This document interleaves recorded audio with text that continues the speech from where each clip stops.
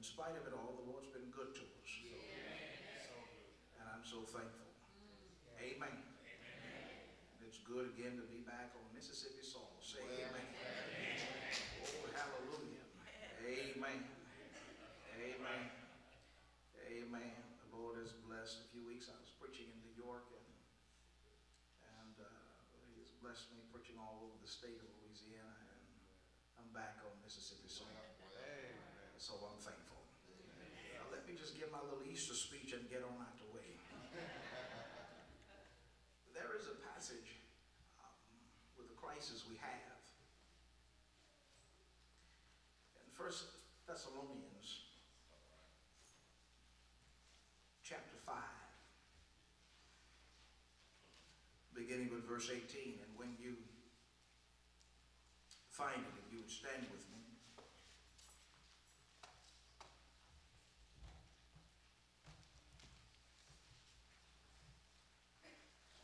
First Thessalonians chapter 5.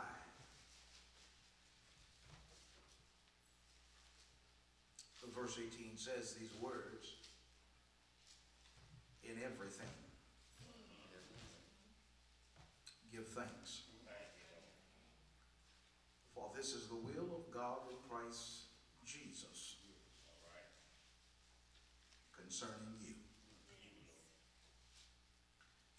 I want to talk tonight about how to be thankful when you're going through. You may be seated. How to be thankful when you're going through. Pastor Evans, first of all, it's it's Christian theory, but it's not really real Christian practice. Because many of us, when we are going through, sometimes we have tendency to look like the through that we're going through. Because so often our disposition tends to reflect total despair and delusion. And so the reality is that if we're honest about it, some of us, we tend to attend church every Sunday morning. Go ahead. And yet we have serious being joyful about our own situations. It was, Sister Carolyn, it was William Vander Haven. Uh-huh. William Vander Haven said these words that joy is not the absence of trouble, Bring that up, Will. but real joy. It is the presence of Christ. But sometimes looking at us from time to time, if we're honest tonight, when we look at our situations, Yes, sir. many of us often ponder if God is so good, why do I feel so bad? Somebody ought to talk to me. In fact, it was the late Glimpsey Smith who used to say it like this that he couldn't get a hallelujah out of some Christians, even if you squeeze them out of the ringer. Because there are some folk who are literally set on being miserable when we have options to do something much meaningful. And so tonight, to be truthful with you, much of their painful disposition, it is literally occupied strictly by choice. Read something the other day. Dale Carnegie said that you ought to act as if you were already happy. And that will tend to make you happy. But Pastor Evans, I beg to differ. If you act as if you have joy, then let your joy make you happy. Somebody ought to talk to me here. And I want to tell you to the maturing believer, if you've read the book of Nehemiah, we can agree in Nehemiah's writings who was under pressure, but he was not under praise. You remember the passage that the Jews had been in Babylonian captivity for 70 years. Nehemiah was granted permission to go back and rebuild the walls at Jerusalem that had been burned down with fire. Nehemiah encouraged the believers in that very eighth chapter. And in that tenth verse, Nehemiah wrote these words. He simply said that the joy of the Lord, somebody ought to help me here, is my strength. And so if you want to have his joy, then we have to learn to be joyful about every situation. Notice in the text, the Apostle Paul said right here, he said that in everything.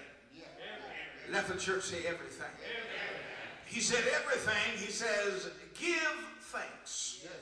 For this is the will of God in Christ Jesus concerning you. I have to tell you, Reverend Flanders, to be thankful, it means to be thoughtful. Somebody ought to help me up in here. And to be thoughtful means to have the attitude of gratitude. Well, Just a few thoughts on gratitude. Can I tell you that, that, that gratitude, somebody once said, is the attitude that keeps your life at a, stel- at a steady altitude, regardless of the storms that you go through. yes, sir. All right. And whether you know it or not, can I tell you real quick, it might surprise you, but, but really it is our nature to be ungrateful. Somebody ought to help me up in here. I said it's our nature to be ungrateful. But can I tell you, not only is it our nature, but it's also our culture. I'm getting happy all by myself. I mean, you see, here's what I mean, that we'll thank God for the sunshine, but we won't thank him for the rain. Somebody will talk to me up in here. We, we will thank God for our healing, but we'll never thank him for our pain. We'll thank him for the raise we get, but we will not thank him for the bumps that we have to go through in order to get the raise and the promotion. We'll thank him for our cushion, but we won't thank him for our conflicts. Somebody ought to help me up in here. We don't mind thanking him for the new car, but it's unnatural for us to thank him for every new crisis and every new challenge and every new situation that we face. We tend to want the blessings, but we don't want the burden. And so time and time again, we often fail to remember those words that the Apostle Paul wrote over in, in Romans 8 and 23, and I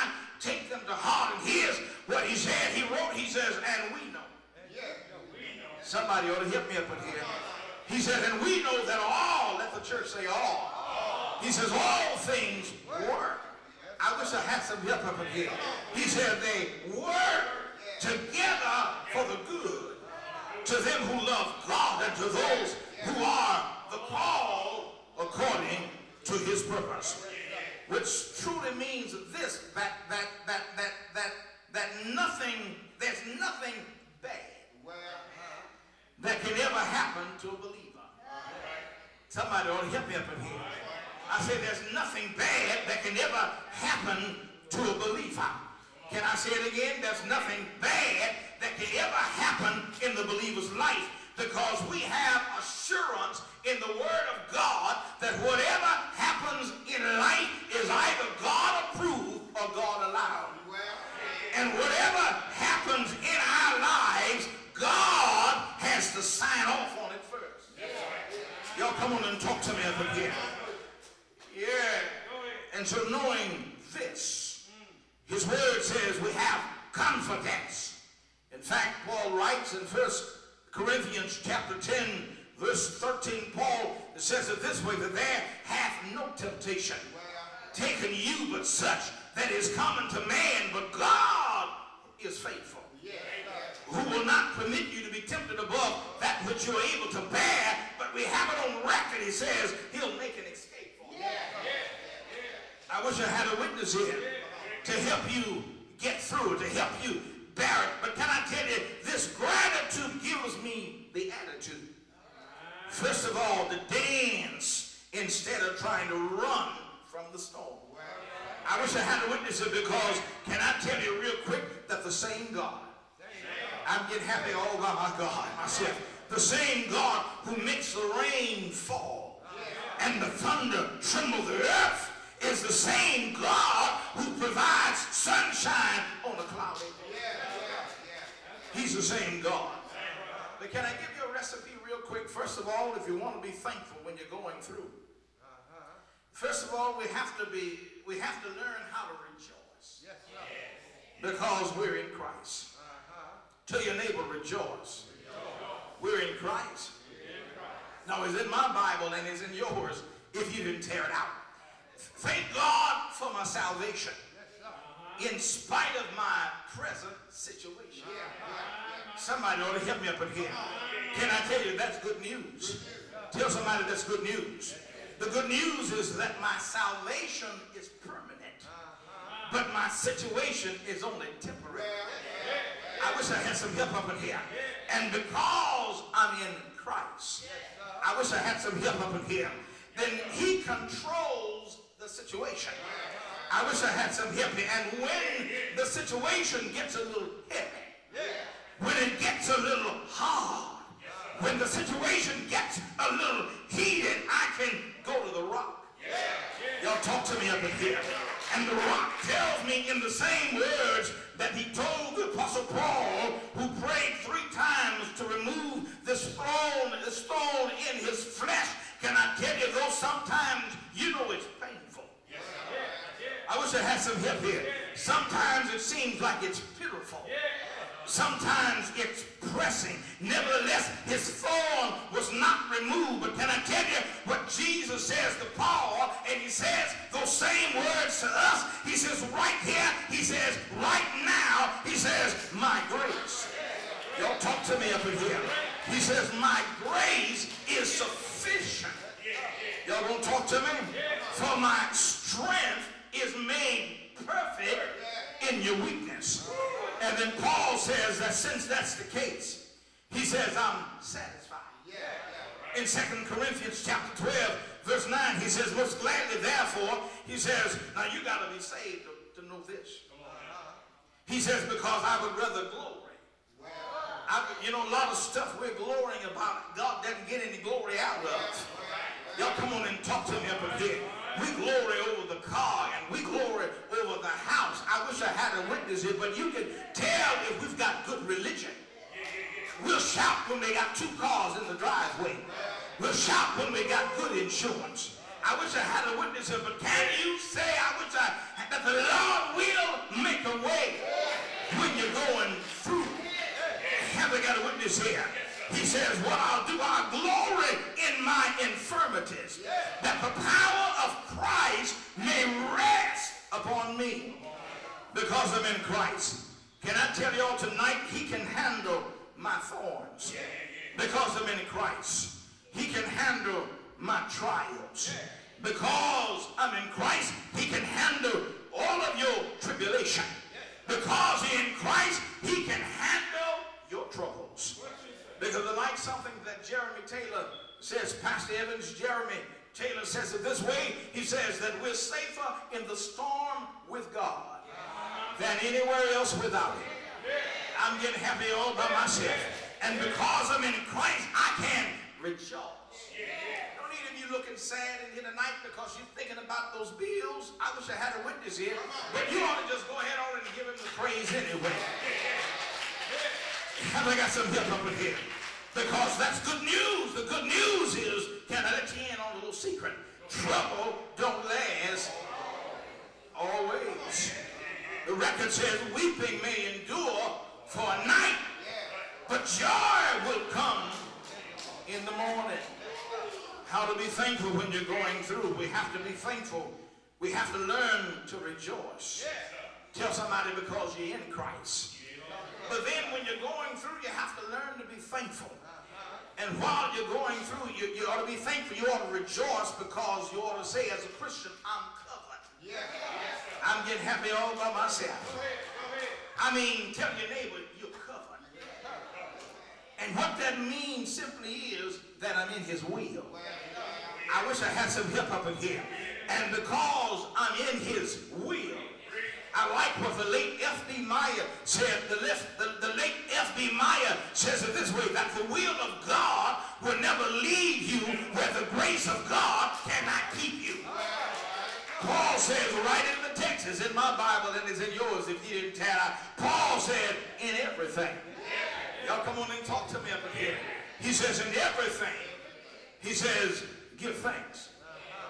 For this is the will of God in Christ Jesus concerning you.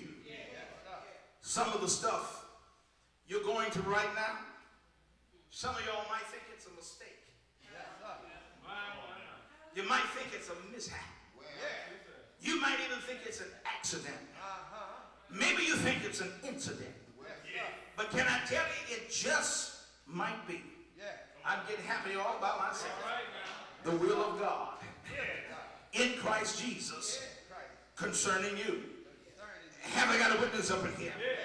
You see, God not only cares about what you're going through, but you ought to touch your neighbor and tell your neighbor he cares about how you go through it. Y'all come on and talk to me in here.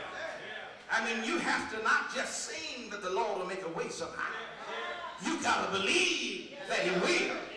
You can't just sing that he's an on-time God. I wish I had a witness, but you've got to believe. You've got to believe. You just can't sing. He'll work it out. I wish I had some help up in here. But when you see those bills on that table and when you go to that hospital, I wish I had a witness here. You ought to thank God and know that he will. Big Mama said he may not come when you want him to come, but when he comes, I wish I had some help up in here. He'll show up, and when he show up, he will show out. Paul says, in everything. Notice what he says, give thanks. For this is the will of God in Christ Jesus concerning you. Read something that William Pettingill says, you know, most folk really don't want to know the will of God in order to do it. But we seem to want to know it in order to consider it. I wish I had a witness here. But tell somebody tonight I'm covered. You got to believe you're covered. In fact, you're covered all up in his will. And because I'm in his will, can I tell you tonight, that does not mean that I'm free from trial. It doesn't mean that I'm free from trouble. Deliver me, Pastor Evans, from this gospel that people preach, name it and claim it, nab it and grab it, get it and go, health and wealth, prosperity. Listen, can I tell you tonight that the real gospel of the Lord Jesus is that in this world, I'm getting happy all by myself. You will have trials. Somebody ought to help me preach this thing. And tribulation. But I've got some good news hot off the heavens press. And the good news is just for you. The good news is, he says, for I've already. Somebody ought to help me up in here. Overcome the world. And so because I'm in his will, it does not mean, it does not eliminate my testing. Because if you, I wish I had a witness, if you want a testimony, you will have a test. Have they got a witness up in here? And God does not have to test us. I wish I had a witness here, but sometimes he will let us see us. Let us see if our shout is for real. I wish I had a witness here. I mean, let us see if our singing is for real. I wish I had some hip up in here. There's some folk right now, if you're honest about it, you would just, you know, sit in church and just fold your hands until you went through something. I wish I had a witness here, and you come to know that it was nobody. Somebody ought to hit me up in here. Nobody but the Lord. Sometimes he'll send us through something so we can see ourselves. That is not by power. Y'all talk to me up in here. It's not by might, but it's by my spirit. Said the Lord. Have we got a witness here? But his will, it does not eliminate testing times. But the good news is because we're in his will. Can I tell you, Paul writes, because we're in his will, that we get trouble. I'm getting happy all by myself. We get trouble not on one side. Y'all talk to me here. Not on a few sides. That's why sometimes it looks like, you know, when it rains, it pours. Y'all talk to me up in it. Sometimes it seems like when you wipe one tear, I wish I had a witness up in here. Here comes another. Look like when you go to the doctor for one thing, y'all talk to me up in here. It's another thing.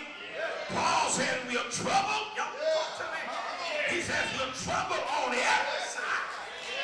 Have got some help up in here? But you know, we are we're not crushed. He says sometimes we get broken, but we're not perplexed. We don't give up and quit. He says we are hunted down. But here's the good news God never abandons us. We get knocked down, but we get up and we keep going. I'm through now. My soul is happy. I said I'm through.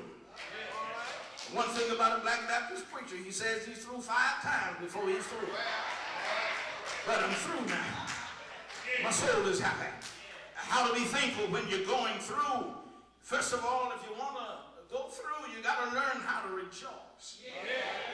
Because you're in Christ. And then you need to be thankful when you're going through, rejoice by the fact that as a Christian, I am covered. Have I got some help up in here? I mean, I'm covered. And then finally, you ought to rejoice because we have been consummated. Y'all looking at me mighty funny.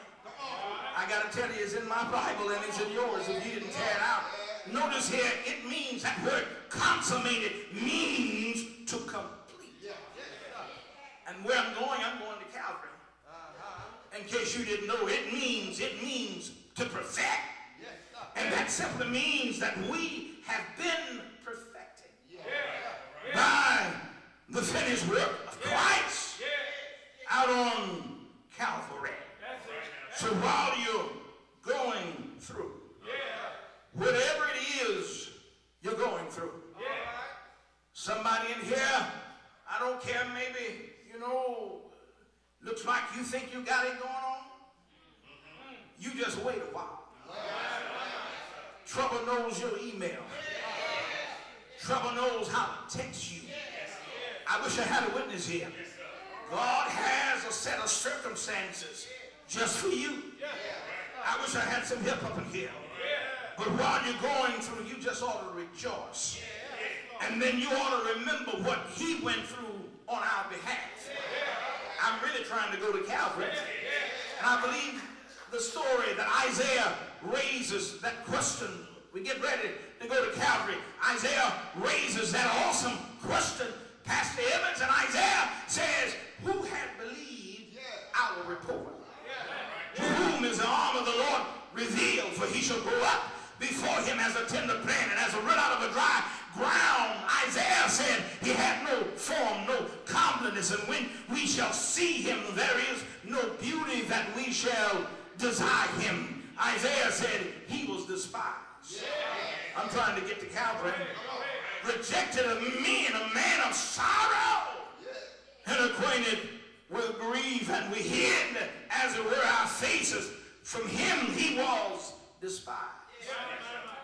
and we esteemed him not. Surely he had borne our griefs, carried our sorrows, yet we did esteem him stricken, smitten of God, and afflicted. But then Isaiah sets my soul afire tonight. He says these words, but he was wounded. That's why you ought to rejoice. I wish I had a witness. It. It's not about you. I wish I had a witness that you ought to rejoice because he was wounded for our transgressions. You ought to rejoice because he was bruised for our iniquities. The chastisement of our peace was upon him. And with his stripes, we're healed. How to be thankful when you're going through. First of all, you got to learn how to rejoice because you're in Christ. You ought to rejoice because we are covered as a Christian. And then you ought to rejoice because we have been consummated. Have I got a witness up in here? Calvary, that's where I'm going. Uh-huh. Made it all possible. I wish I had some up in here. I said Calvary made it all possible for us. Because it was at Calvary.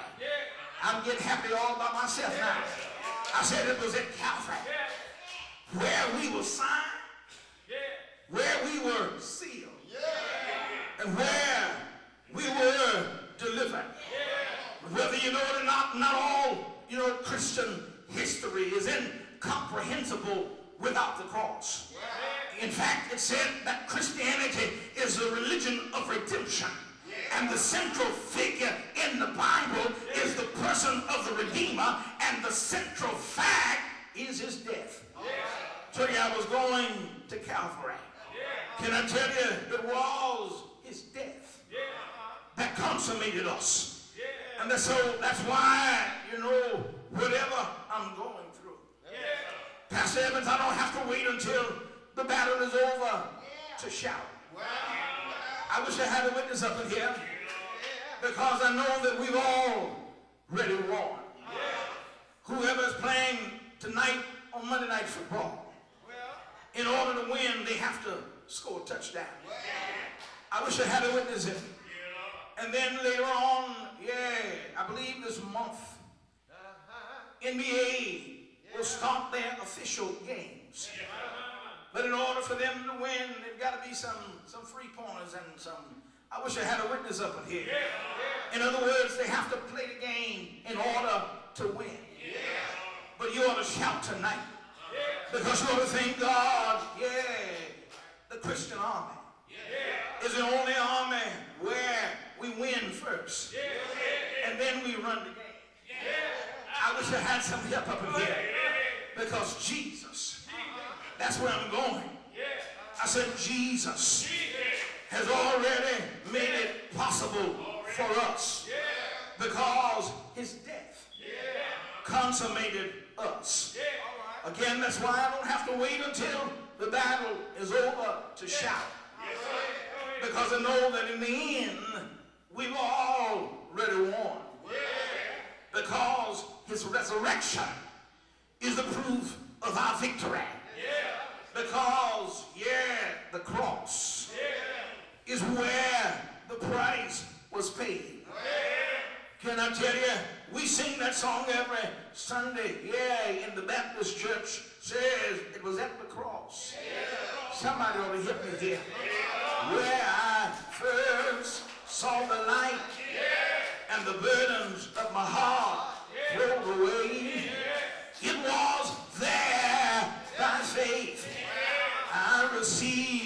My eyesight and I'm happy all the day. That's why I can rejoice no matter what I'm going through. I believe I said to you last year, you know, some people uh, go through life calling life a bad about what you call a bad day. Because a bad day is really a blessed day in disguise. Have I got a witness up in here? So let me tell you this little story and then I'll leave you alone. What I want to tell you, you have to be careful about what you call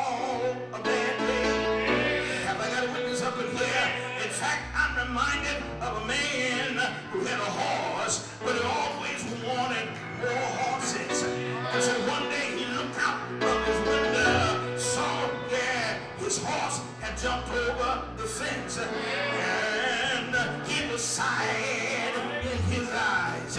And can I tell you, here comes his neighbor and uh, the neighbor said, we realize that your one horse is gone. It looks like uh,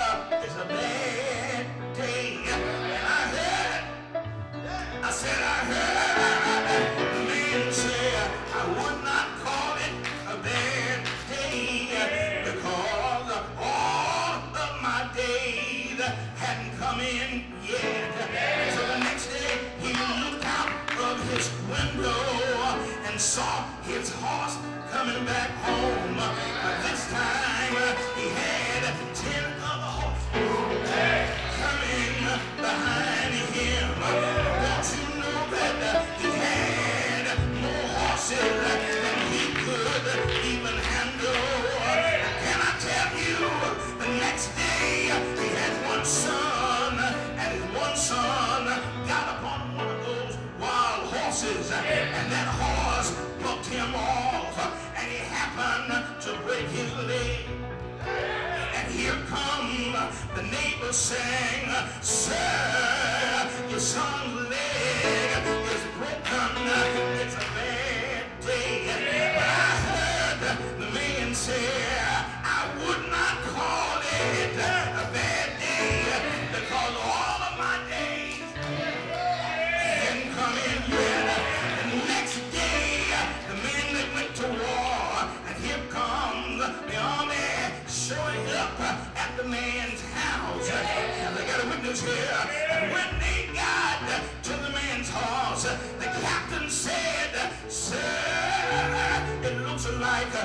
son's leg is broken. And they got a witness here. And they said, Look at him. We want to take your son, but he has a broken leg. I wish I had a witness up in here. And don't you know, the man said in his mind, I told my neighbor that is not a bad day. Have got a witness here? Because all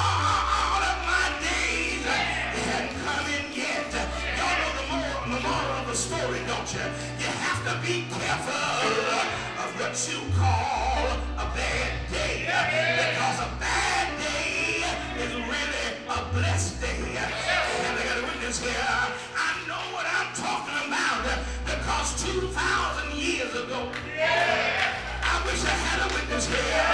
2,000 years, I told you I was going